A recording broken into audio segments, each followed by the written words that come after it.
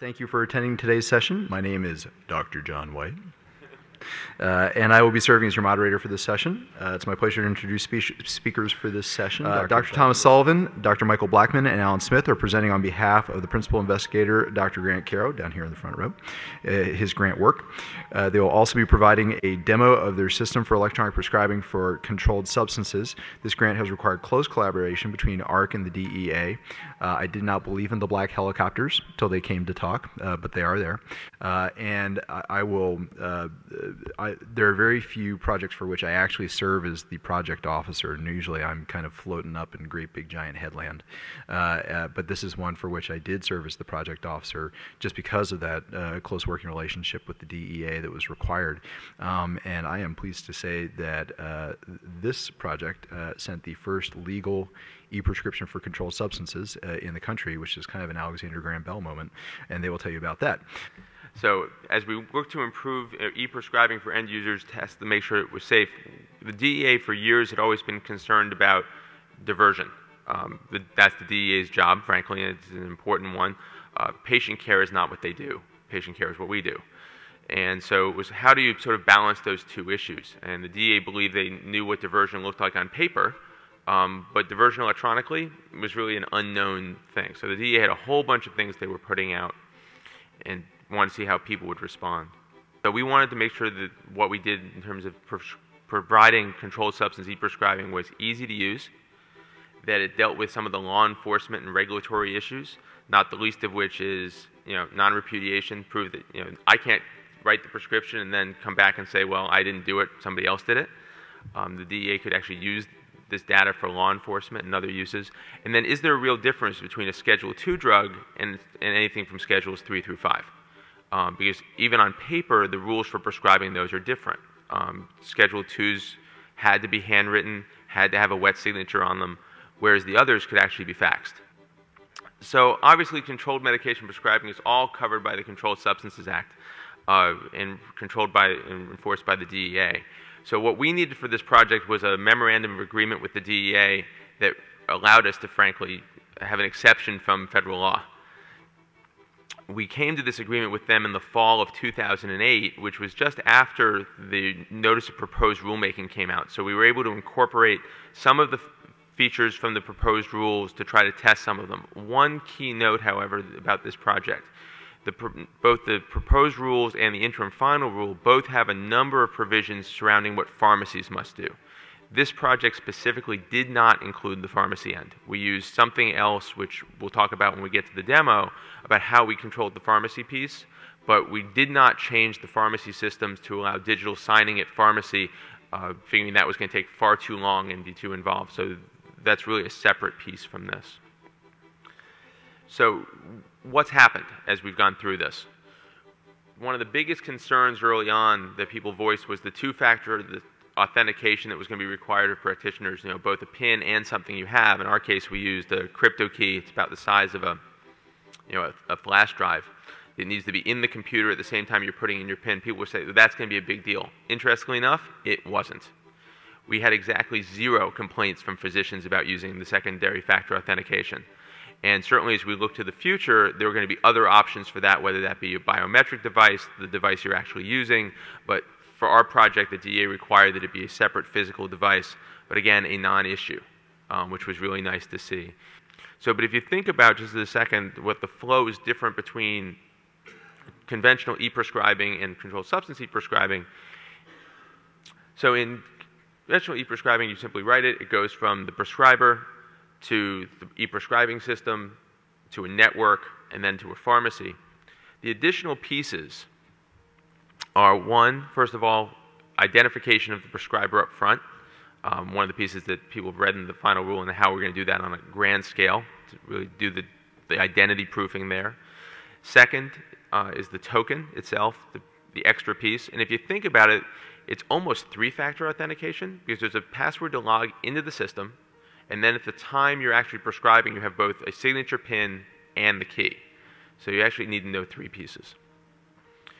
At the, in our process, it then goes through the e-prescribing vendor to the network, and then there it checks in real time against the DEA database to make sure that the person actually has a DEA number that's valid. So that gets updated, I believe, on a daily basis. So if somebody was in the system or gets taken out today, their keys won't work tomorrow. Um, the it gets digitally signed, and then it gets sent over to the pharmacy. The last piece in the lower right-hand corner is that digital signature and archiving at the pharmacy level that we did not do.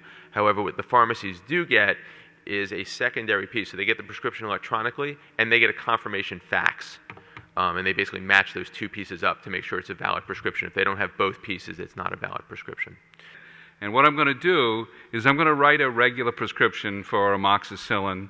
And this is going to be a live prescription, a real prescription. It's going to be transmitted to a pharmacy in Massachusetts, and we're going to have the pharmacist call in and be on the phone so that we can validate that he got the prescription as well as the fax validation uh, that uh, Michael just mentioned. I'm going to say this guy has a lot of pain, so I think I'll uh, write for morphine. So up comes the list, and you see here, there's a little little uh, notification. These are Schedule Two drugs, uh, and I'm going to pick uh, 30 milligrams of morphine.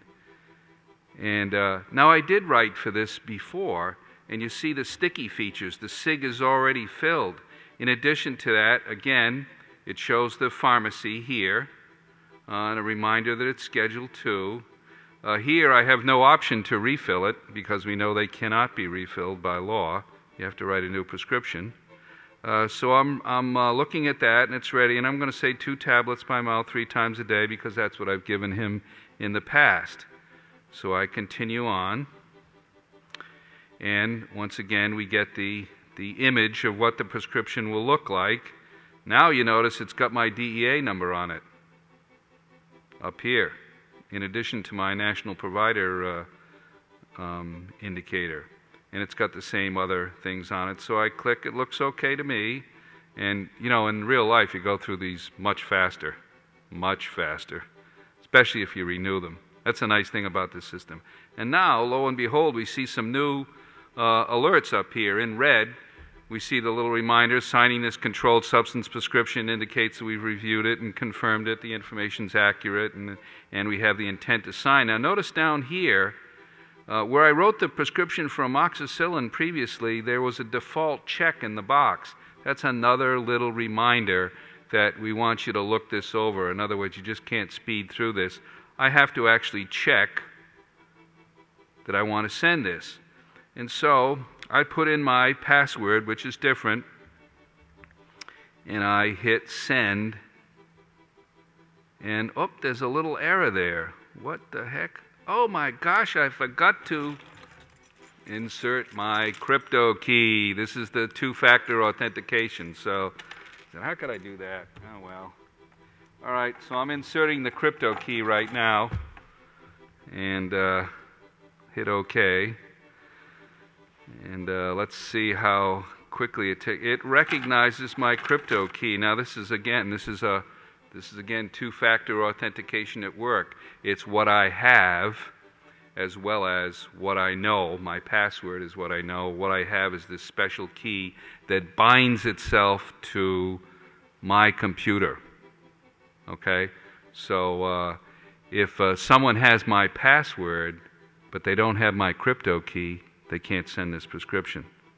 Uh, and I'll show you some other potential fraud scenarios. So I'm going to send this, and I click send, and it gives me a little indication here that both of these prescriptions was sent to this pharmacy uh, in Western Massachusetts. This is real time, so those those prescriptions should have gotten there by now, like that. Amazing. At least I think I'm old enough to think it's amazing. And I think we hear our pharmacist on the telephone. Uh, here's uh, this is uh, Stan Walzik, who is the owner of the O'Loughlin's Pharmacy. Uh, Stan, are you on the line? Did you get the uh, prescription or the fax validation? Can you hear this? Good morning. I, I do I do hear you. Can you hear me? Fantastic. Yes, we do hear you. Okay. I've been listening to you since about five after ten. Oh, um, I sorry. followed your conversation where you sent the electronic prescription at 10:16. I waited. The fax rang, and I received the fax confirmation at 10:17. I went into my electronic log in the uh, computer, and I have a test electronic controlled uh, substance at 1019.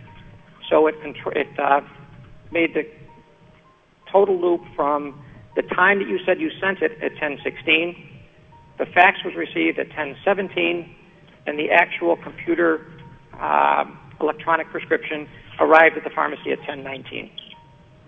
I'd say that's fantastic. You know, this little, I, I don't want to be accused of a little hyperbole, but, you know, my big teaching hospital is Mass General. They have a place there called the Ether Dome, where ether anesthesia was first demonstrated publicly. You got the first demonstration publicly of, of an electronic position, and again,